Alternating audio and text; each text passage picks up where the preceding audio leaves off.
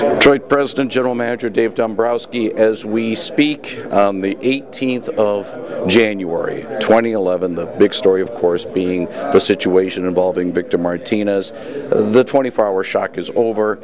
Uh, where does this club stand now with Victor? Have you learned a little bit more what the situation is? No, we haven't any, learned anything more in regards to Victor's situation because he won't see the doctor until next week. When I left this morning, I did not have the time in which he will be seeing him, but it was being set up for the beginning of next week Colorado. We'll find out more at that time, but uh, we have a pretty good feel of what's taking place. But we'll find out when this surgery scheduled, the exact time that they, they feel at that point. But we have a pretty good pulse of what's what's going to happen. Is this type of situation almost a, a, a case where uh, as a baseball executive, you always have to be ready for the unexpected at a moment's notice. Is this type of situation like that?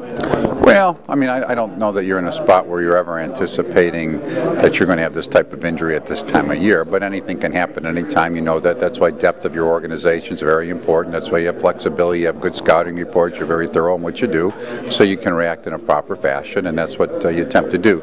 You know, when you lose certain players, you can't per se replace that individual player, but yet as a club, people step up, they do their job, and then you're in a position where um, you make up for the, the loss of the player and his abilities by other people contributed. And then we still have the ability before opening day to, to make a move that can help our lineup. Patience is almost the important thing right now because we are talking in mid January. We're not talking like mid March when opening day may be three weeks away and something's got to be done. Well, that's right. I think you have to make sure you're very thorough in your research and you have a feel. We have a pulse of what's going on. We know the players that are out there, and we need to be in a position where we put all the pieces together and kind of decide what's best for our, our ball club going into the next uh, the next time frame, really. All right. As we speak in mid-January, no matter what would have happened to Victor Martinez before then, this was a club the 40 man roster that still was a little bit in flux that you were willing to do a little tweaking before uh, the pitchers and catchers report to Lakeland in, in five weeks? Well, I, I think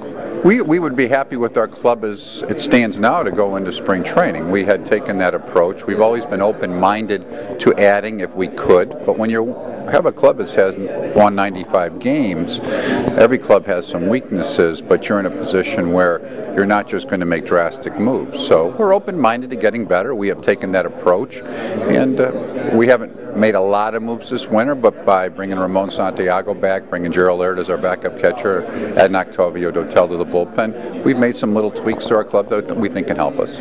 You're a minor league organization. The leadership has had uh, a little bit of change, uh, first with the overall leader, and then the pitching change with Al Nipper coming on board. Is it more of a case of maybe the people that were there took it as far as they could, and maybe it's time for a different direction, or what? Well, we had good people in the organization for a long time. I think the director of player development situation uh, was really more in a transition because Mike Rojas went to the major league level. We were very happy with the job that Mike did, and Mike was in a position he would have been in that position for a long time. But for us, uh, stepping up to the big league coaching staff and being able to help us there was a very important part for the organization.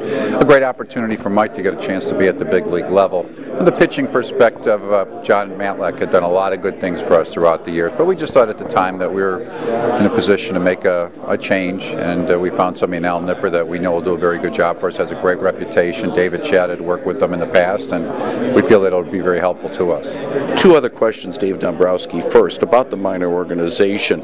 Uh, stability. Uh, granted, there's leadership change, but stability of the fact that, yes, Connecticut has been a change, but for the most part, the following transitions there's West Michigan, Lakeland, of course, the Tigers' own, Erie, Toledo. They've been there for a number of years. That's got to really help in terms of laying a foundation for developing players because if you have the foundation stable, the players should be stable. Well, I think it's very important. I think it speaks to the people that run our minor league system, our scouting department, the personnel that we have. We have great relationships with our affiliates. We have a great relationship here in West Michigan with Lew Chamberlin and Denny and the rest of the group that run the, the organization, as we do at our other affiliates. So you hope to have that type of stability in your organization. We have a lot of consistency in the managers and the coaches within our organization, as with our scouting staff. So I've been here for us at the beginning of my 11th season, and we're in a position where a lot of people have been here the whole 11 years, and so I think that's good for an organization. As long as you have good people and you can continue to build on your philosophies, and they're open-minded to that, which they are, you're in a position where it puts you in a position to have a very good and stable organization. One final thing, and I, I, I think I can guess the answer, Dave Dombrowski, but um, I'm going to ask the question anyway. I found it a little bit humorous uh, last month before Bud Selig uh, was uh, had an extension of his contract that there was some scuttlebutt about who would replace Bud Selig as commissioner. And I found it amusing that Dave Dombrowski's name started being tossed about. I know you're pleased with what you're doing here at Detroit, but uh, to be thought of as maybe somebody that could lead all of Major League Baseball is a little humbling, isn't it? Well, yeah, I appreciate that. It is very much so, and it's a nice compliment. But as I said at the point, that I have a job that I'm very happy with. The commissioner's done a great job. You can see he just got his contract extended by a couple years, and so uh, I'm in a very good situation. very thankful for that.